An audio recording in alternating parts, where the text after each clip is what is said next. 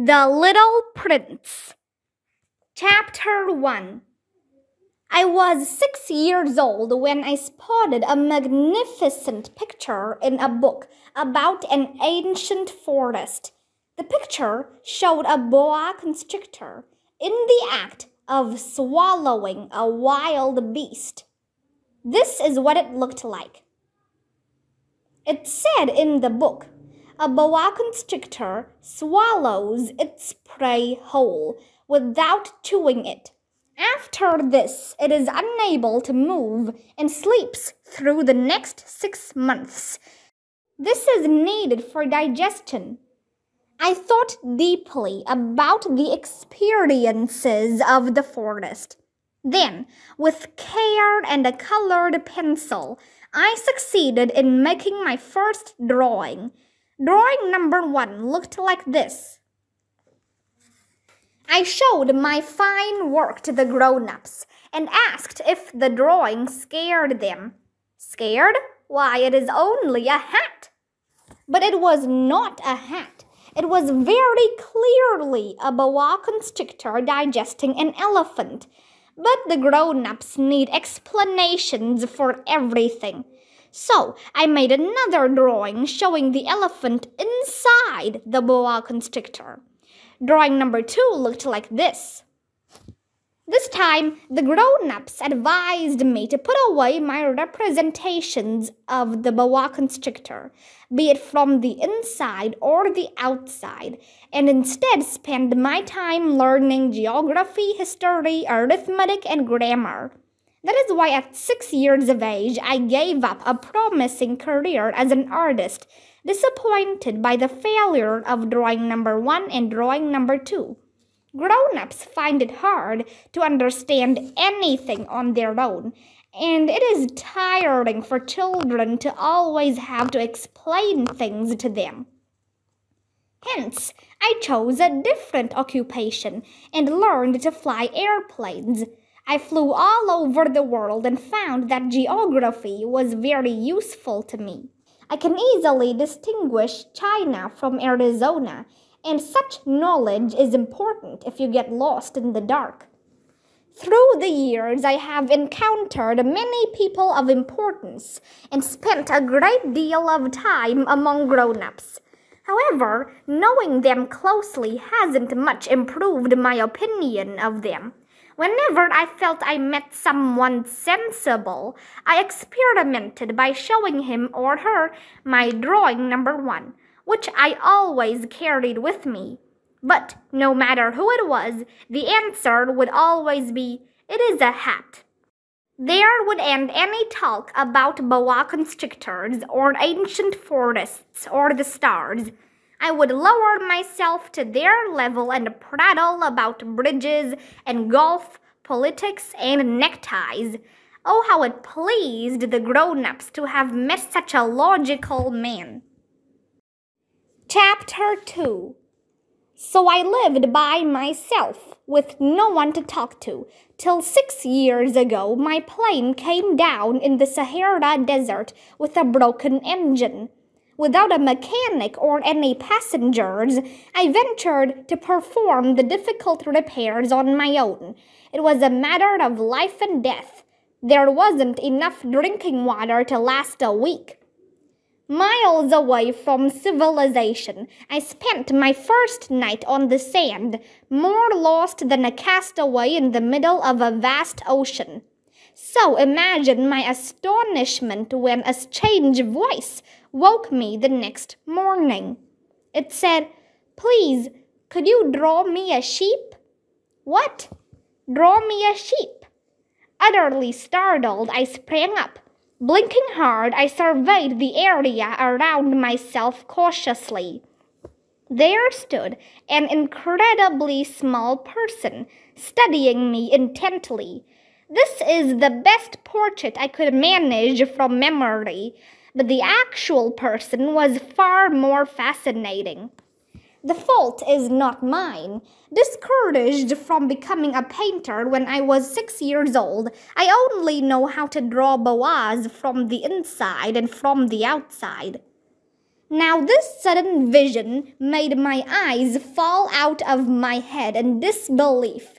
As you are aware, I had crash landed in the desert many miles from any habitation. Yet this fellow seemed neither weary nor astray. He wasn't even fainting from hunger or thirst or fear. He did not look like a child lost in the middle of the desert, far away from any living thing. When I finally found I could speak, I asked him, What are you doing here? Please, could you draw me a sheep? He repeated slowly, with care, as if this was a matter of great importance. So compelling was the situation that I could not disobey, even though I was far removed from civilization and worried for my life, I took out of my pocket a sheet of paper and my fountain pen. Then it struck me that my studies had been centered around geography, history, arithmetic, and grammar, and I told the little man, with some irritation, that I did not know how to draw. He answered, No matter, draw me a sheep but I had no experience of drawing a sheep. So I drew for him the thing I so frequently drew, the boa constrictor from the outside. And I was surprised to hear, no, no, no, I do not want a boa constrictor with an elephant in its stomach. A boa constrictor is very dangerous, and an elephant too bulky everything very small where I come from. A sheep will be more suitable. Draw me a sheep. So I made this drawing. He looked at it carefully and said, This won't do. The sheep looks ill. Draw me another. I made another drawing. My friend smiled kindly. See for yourself, he said. It is a ram with horns, not a sheep. So I made a third drawing. It looks ancient, he exclaimed.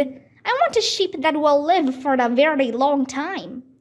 I was exhausted and impatient to start working on the crippled engine, so I quickly drew this. Your sheep is inside this box, I explained.